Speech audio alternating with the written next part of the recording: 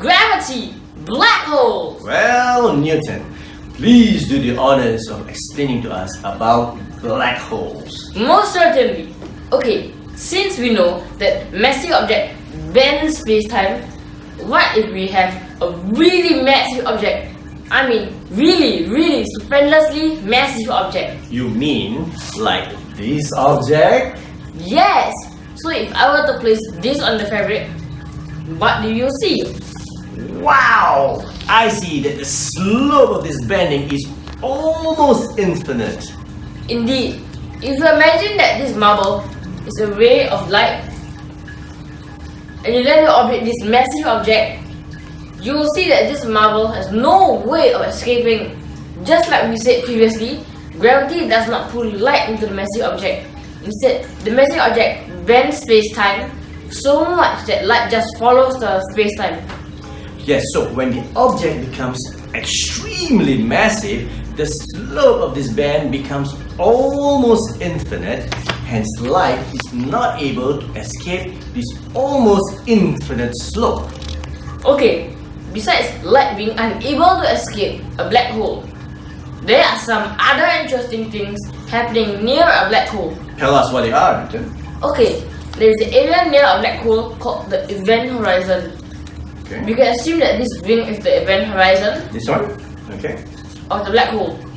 As light nears this event horizon, it slows down. At the event horizon, light actually stops. And time too.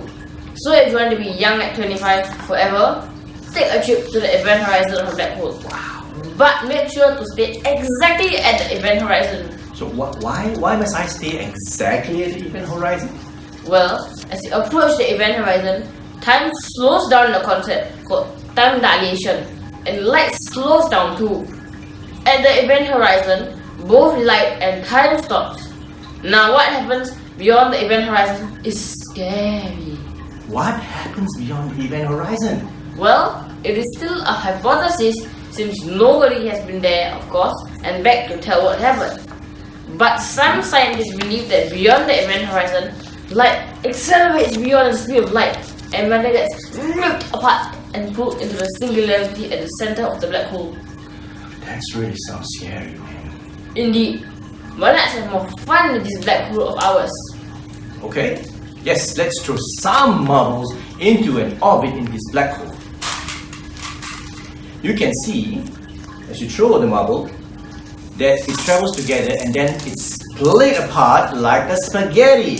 Yes, this spaghettified. Come, let's try this again. See this? Whoa! That's just cool, isn't it? And you can also see how the speed goes more and more as it goes nearer to the singularity in the middle of the black hole. Well, watch out for our next video on why most objects in the universe revolve in the same direction.